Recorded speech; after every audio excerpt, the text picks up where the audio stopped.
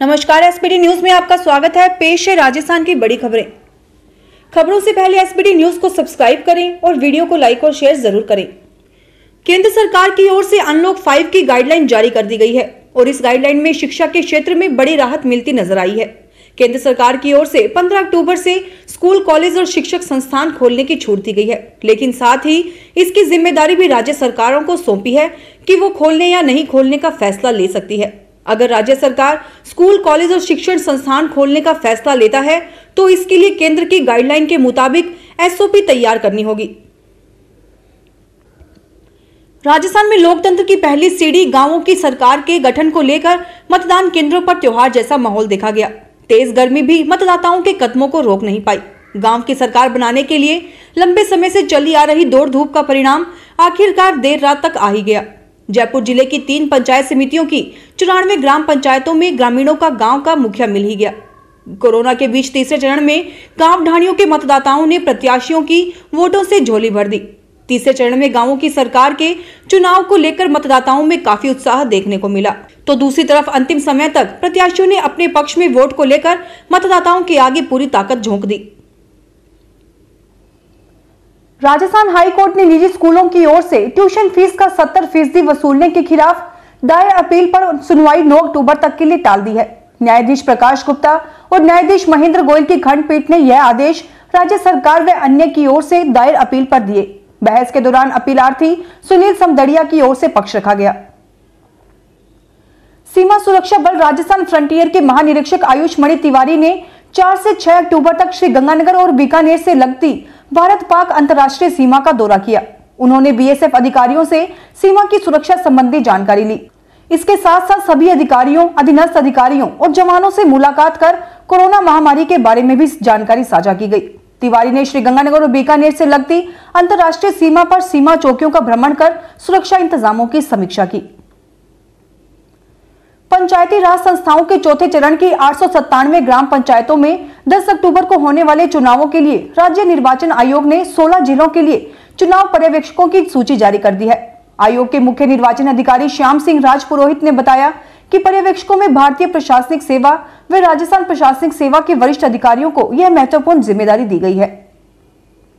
राजस्थान में निकाय चुनाव को टालने के लिए राज्य सरकार ने सुप्रीम कोर्ट का दरवाज़ा खटखटाया है, लेकिन सुप्रीम कोर्ट से कांग्रेस को राहत नहीं मिलती है तो बिना संगठनात्मक ढांचे के ही कांग्रेस को निकाय और पंचायत समितियों के चुनाव के लिए मैदान में उतरना होगा। यानी एक तरफ़ जहाँ बीजेपी इन चुनावों को लेकर युद्ध स्तर की तैयारी में जुटी है, वहीं कांग्रेस पिछले चौरासी दिनों में अपनी सेना भी तैयार नहीं कर पाई है। दरअसल आगामी पंचायत समितियों और निकाय चुनावों को लेकर प्रमुख विपक्षी दल बीजेपी ने तैयारियाँ शुरू कर दी हैं, लेकिन सत्तारूढ़ कांग्रेस में इसे लेकर कोई हलचल नहीं है। राष्ट्रीय स्वयंसेवक संघ के सर संघचालक डॉक्टर मोहन भागवत ने मंगलवार को कहा कि कोरोना वायरस महामारी के कारण समूची दुनिया एक बार फिर विकास की भारतीय विचार परंपरा की ओर लौटी है और उसे बड़ी उम्मीद से देख रही है। उन्होंने कहा कि जैविक खाद के बारे में 50 साल पहले विदर्भ के नेडब काका बड़ी अच्छी योजना लेकर केंद्र के पास गए। लेकिन उस योजना को सिर्फ़ इसलिए कचरे में डाल दिया गया कि वह भारत के दिमाग से निकली थी। परंतु आज ऐसा नहीं है। कोटा शहर के कुन्हाड़ी थाना पुलिस ने सोमवार रात गश्त के दौरान एक कार में जुआ खेलते हुए बूंदी के सदर इलाके में रहने वाले चार सटोरियों को गिरफ़्तार कर लिया। कोटा एसपी गौरव यादव ने बताया कि गिरफ़्तार आरोपी मुकेश कुमार गुर्जर, राकेश कुमार गुर्जर कुंज बिहारी गुर्जर एवं जोधराज गुर्जर है। इनसे दांव पर लगी रकम चार लाख पच्चीस हज़ार रूपए, तेरह सट्टा डायरी व जुआ हिसाब की दो डायरियाँ जब्त की गई हैं। और अब खबरें श्री गंगानगर हनुमानगढ़ ज़िले की। हनुमानगढ़ ज़िले के संगरिया पुलिस थाना क्षेत्र के ढाबा में स्थित पीएनबी बैंक में कार्यरत कर्मचारी ने बैंक में 16 लाख रुपए का गबन कर लिया। मामला पकड़ में आने के बाद कर्मचारी पर मुकदमा दर्ज किया गया है। पुलिस के अनुसार हाल शाखा प्रबंधक आशुतोष प्रसाद ने संग्रिया पुलिस को रिपोर्ट में बताया कि कर्मचारी पवन कुमार ने कार्य करने के दौरान बैंक में दस्तावेजों में हेरी फेरी करके 16 लाख रुपए का गबन कर लिया। पुलिस मामले की जाँच कर रही है। ज़िले के प्रभारी मंत्री बीडी कल्ला के प्रथम बार हनुमानगढ़ आगमन पर मंगलवार को विधायक चौधरी विनोद कुमार के नेतृत्व में विधायक अमित चाचाण पूर्व जिला अध्यक्ष सुरेंद्र दादरी, महात्मा गांधी जीवन दर्शन समिति के संयोजक श्रवण तंवर, नगर परिषद सभापति गणेश राज बंसल, शबनम गोदारा सहित समस्त कांग्रेस जनप्रतिनिधियों एवं कार्यकर्ताओं ने सूत की डोरी एवं पगड़ी पहनाकर स्वागत किया। पूर्व जिला अध्यक्ष सुरेंद्र दादरी ने बताया कि कैबिनेट मंत्री एवं प्रभारी मंत्री बीडी कल्ला बुधवार को प्रातः 10 बजे प्रशासनिक कार्यक्रम के तहत जिला परिषद में भाग लेंगे, जिसके पश्चात दोपहर एक बजे व्यापार संघ धर्मशाला में कांग्रेस कार्यकर्ताओं का आयोजित धरना प्रदर्शन एवं कार्यकर्ताओं की बैठक में भाग लेंगे। किसान धान का तोला मजदूर यूनियन द्वारा केंद्र सरकार व राज्य सरकार की श्रमिक विरोधी कानून के खिलाफ कार्मिक भूख हड़ताल पर बैठे हैं। इंद्रजीत पन्नीवाली ने बताया कि केंद्र और राज्य सरकार द्वारा कृषि अध्यादेश लाए हैं, उसके विरोध स्वरूप व समर्थन मूल्य से नीचे फ़सल खरीदने के कारण अनाज मंडी कृषि उपज मंडी समिति हनुमानगढ़ टाउन के सामने कार्मिक इंद्रजीत पन्नीवाला, महँगा सिंह सिद्धू, रमेश डावला रामजी लाल, सुरेंद्र अरोड़ा, जमुना देवी अमचन पर बैठे हैं। श्री गंगानगर ज़िले में पशुओं में खुरपका, मुंहपका टीकाकरण अभियान 12 अक्टूबर से 25 नवंबर तक राष्ट्रीय रोग नियंत्रण कार्यक्रम के अंतर्गत एफएमडी टीकाकरण कार्य किया जाना है। जिला श्री गंगानगर में गोवंश छह लाख छत्तीस हज़ार सात सौ चार व भैंसवंश दो लाख एक सौ तेईस में टीकाकरण किए जाने का लक्ष्य है।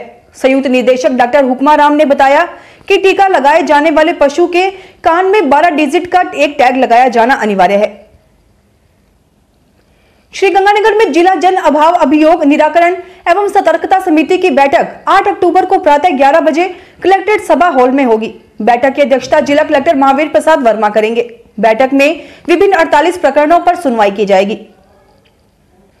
श्री गंगानगर में आत्मा योजना अंतर्गत मंगलवार को पंचायत समिति घरसाना के गाँवों का संयुक्त भ्रमण किया, जिसका आयोजन ग्राम पंचायत 22 आरजेडी के राजीव गांधी सेवा केंद्र पर किया गया, जिसकी अध्यक्षता सरपंच श्रीमती सोनू ने की।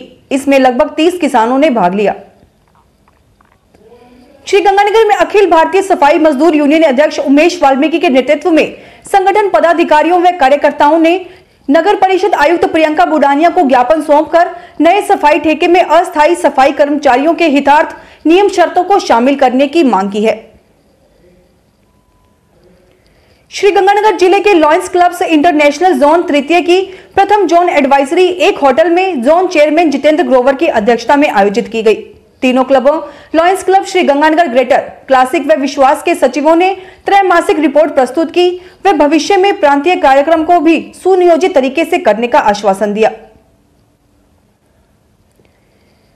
श्री गंगानगर में राजस्थान विद्युत उत्पादन मजदूर का प्रतिनिधि मंडल जिला अध्यक्ष श्याम सुंदर शर्मा के नेतृत्व में ऊर्जा मंत्री व जिला प्रभारी मंत्री बी डी कल्ला से सर्किट हाउस में मुलाकात करके अपनी समस्याओं का ज्ञापन सौंपा। ज्ञापन में तकनीकी कर्मचारियों को टाइम प्लांट प्रमोशन पॉलिसी का लाभ दिलवाने, वन टाइम ट्रांसफ़र पॉलिसी के तहत वंचित पंद्रह तकनीकी कर्मचारियों के स्थानांतरण के आदेश करवाने तथा गत भाजपा शासन काल में पदाधिकारियों के द्वेषता पूर्वक स्थानांतरण रद्द करवाने की मांग की गई।